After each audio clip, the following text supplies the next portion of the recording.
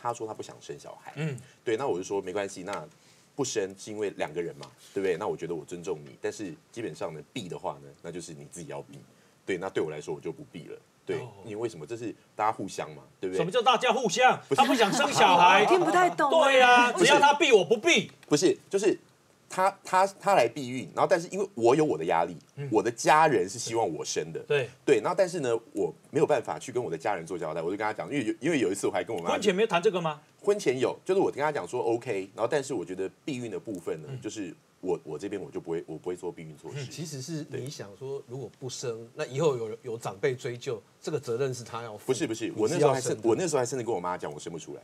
嗯嗯嗯。我妈还跟我讲说，那你要不要去看病？对啊。